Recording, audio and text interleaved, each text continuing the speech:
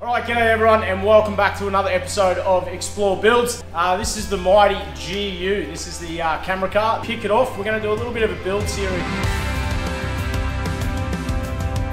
New wheels and tyres completely changes the whole look of your vehicle.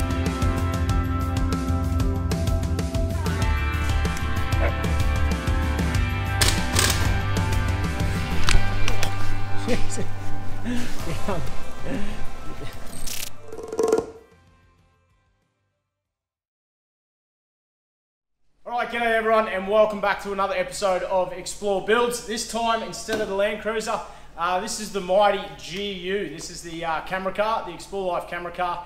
At the moment, we're here at um, Explore HQ. So, um, we'll kick it off. We're going to do a little bit of a build series on the GU.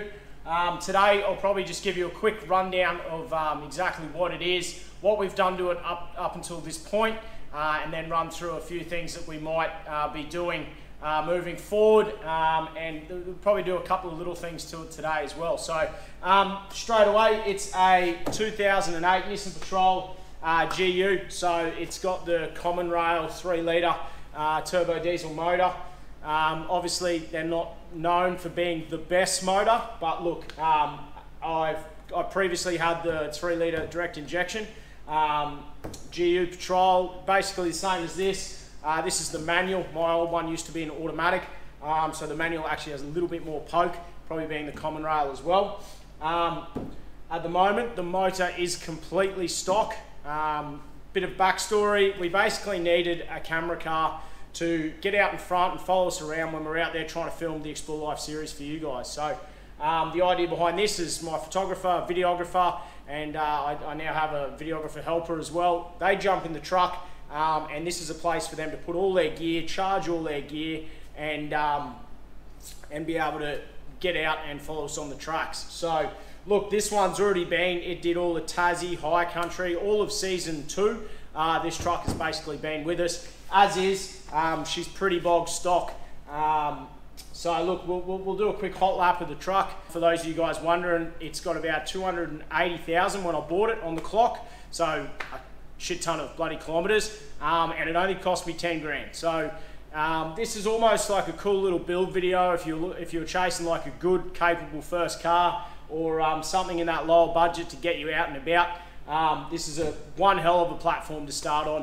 Um, I absolutely love the, the GU Patrol. They're a tough, out-of-the-box truck. Uh, great drivetrain. The motor, as long as you sort of look after it, they're not too bad. So um, at the moment, we're just running the steel, the, the standard wheels. Um, one of the biggest dramas we had um, with with um, the, the, season two was punctures. I think we're up to about four punctures on this truck. As you can see, we're just sort of running at the moment a variation of different tyres. So that's uh, one of the first things that we're going to change because that's been the biggest drama um, is running some good tyres. So we'll get into that uh, a little bit later on.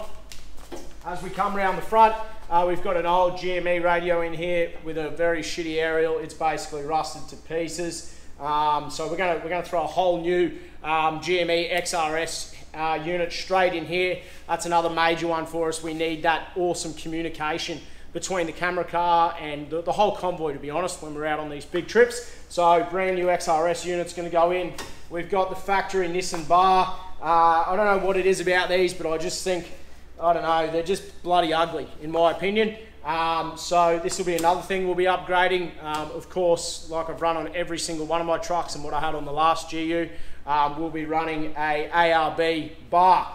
Um, so we'll have that going shortly. These spotties, I think they're old Narvas by the looks of them, or maybe even bloody cheaper. Oh yeah, old Narvas. So um, we're gonna we're gonna upgrade these as well because we do do a fair bit of that um, uh, late night driving when we're trying to push to destinations while filming.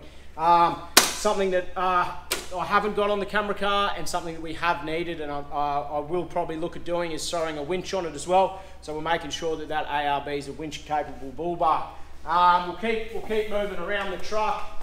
Uh, it's still got the factory side steps. Suspension wise, this thing's running a um, just a two inch suspension lift. Uh, it doesn't need to be anything too wild um, for, for the camera car. Um, but look, it's, it's, uh, we've put some freewheeling hubs on the front there. Uh, that's one thing that we changed. and at the moment it's running. Um, I think it had superior shocks, and, and we've, we've just had to change out the, the front ones. I think they got some Oztech. So we've actually got some pretty epic plans um, for the suspension in this. We've been chatting to the guys from um, airbag suspension, Jacob and Benny. We've just been out at Glasshouse Mountains and I've seen how bloody extraordinary their GU patrol went, uh, running full air ride. Um, and it's something that I'd love to love to try and love to have and, and see how that works longevity wise on a vehicle. So bloody excited. Um, we're, we're still working out when we're going to get it done, but hopefully full air ride, which is bloody cool. Um, all right, so if we come to the inside of the truck, uh, basically, it's completely standard. Um, the GUs, they're, they're, no Land Cruiser. You actually get some things in the GU. So it's got the cruise control. It is a manual, like I said. We've got the old, um, the old UHF radio in there. The rest of this is um, basically 100% um, standard. So nothing exciting. Um, in the back, one thing we have done in the back here is we've actually pulled out um, one of the seats um, and this is just a, a, a, false floor that we've put in here and this is just a fully padded box. Um, so the, the way we shoot is very run and gun. So the boys can dump their cameras in here. We've got the navigator um, rear seat organizer um, which the boys just load up with different bits and pieces. I will put another one on the other side probably. I don't know. I think if when we have three people in the car they like their leg room there. So um, yeah, basically that's one modification that we've already done. Um, up on top, as you can see, this is basically just a, um, uh, a cheap roof rack that, that we had laying around.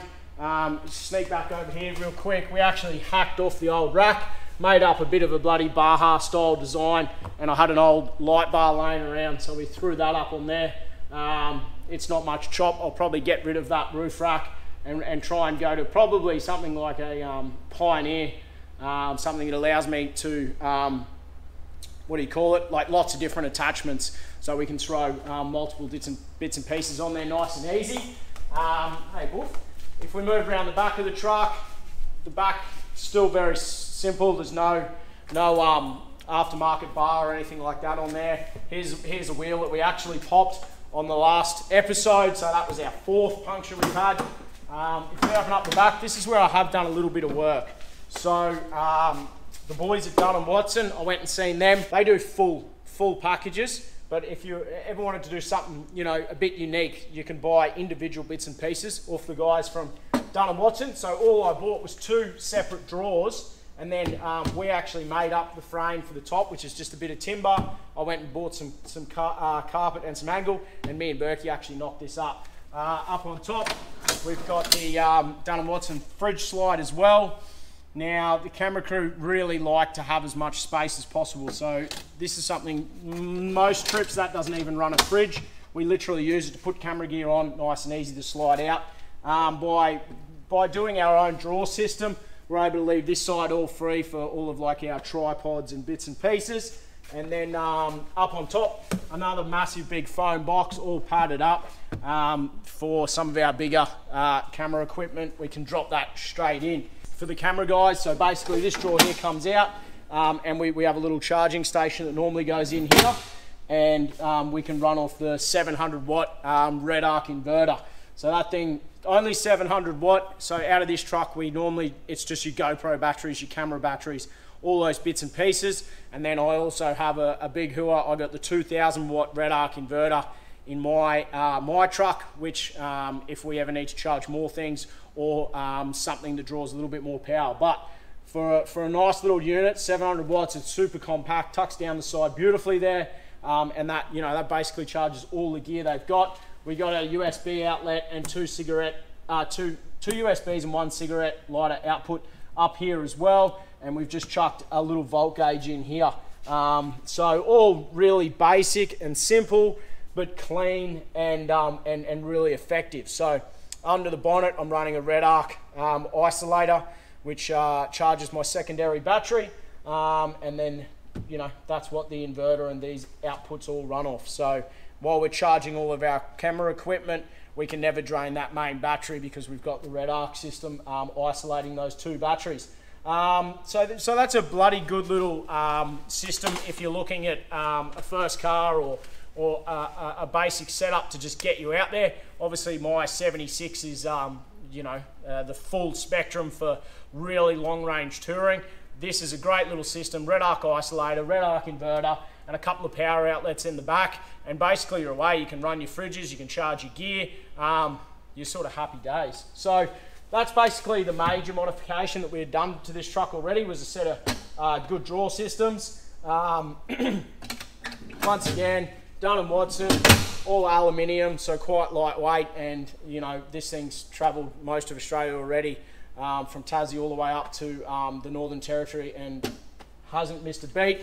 We'll keep cruising. What do we got? That, oh, one sneaky little modification that I threw on um, last week before I got to start filming this little episode was tinted windows. So I've gone for the Ambo black tint on the rear um, and then the darkest legal on the front. This just stops people from sort of prying eyes and the tint that was on it was absolutely shot. So I couldn't even see out the window, so that was a must. Um, paintwork on this truck is pretty flat. You got a few rust stains from the old roof rack that have run down. So it needs a bloody good cut and polish.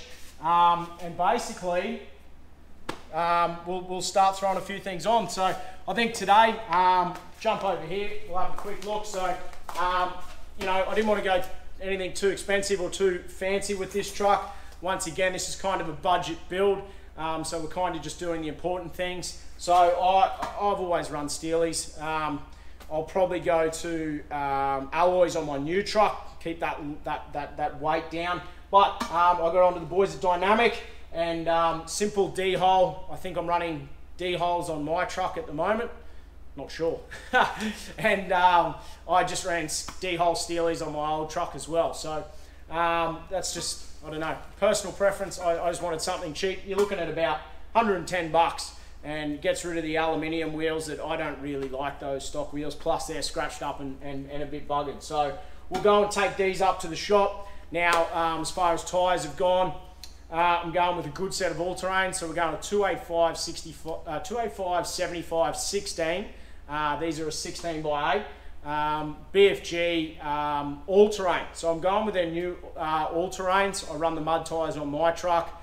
Um, Personally, I do prefer to run muddies all the time, and it's been a long time since I've run all terrains, but I thought I'd love to chuck a set of all terrains on this truck and see how the all terrains compare against the mud tyres, which will just be a good little comparison video that I can do down the truck for you guys, um, and then it gives me a good idea of um, uh, you know the wear and tear. Obviously, a lot of road kilometres in this truck as well, so.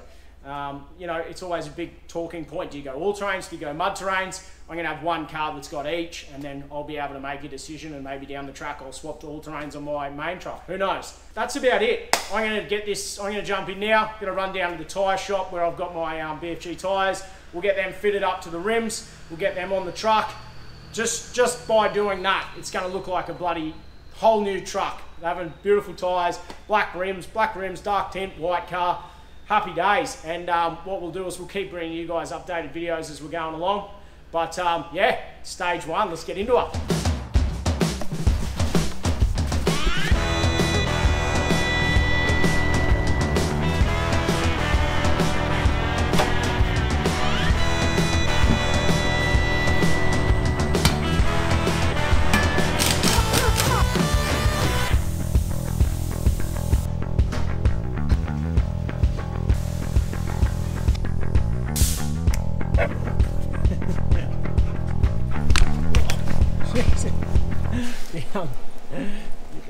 BFG all-terrains are going on the dynamic rims.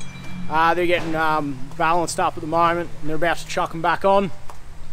Happy days. It is, um, it's bloody crazy actually how as soon as you do a set of new wheels and tyres, completely changes the whole look of your vehicle.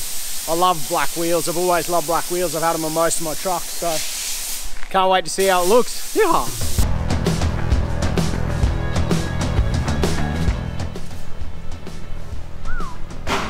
All right, there we go. Bloody shit hot. The truck looks better already. Now I'm getting excited. I might have to put a four inch lift kit in this thing and, and uh, What do you reckon? Barra swap or um, LS? All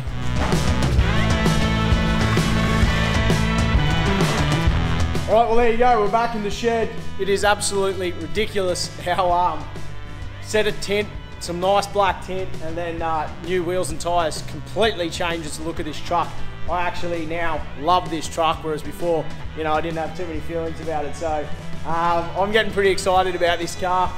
Chances are I'll probably have to get rid of it as a camera car, and I'll end up throwing something, something cool in the motor, and, and maybe we go four inch and 35s. What do you reckon? Anyway, look, that was just a quick little video to show you guys the truck, what we've already done, and uh, the first little stage of the modifications. That's all we're going to get time for today. Um, if you guys have got any comments, chuck them below. Let me know what motor you think I should throw in this if this one goes bang. Um, and um, if you if you want to see more, make sure you subscribe. We'll bring you guys part two of the Explore Life camera car build uh, as soon as we can. Till then, stay safe uh, and enjoy the Explore Life. Cheers, guys.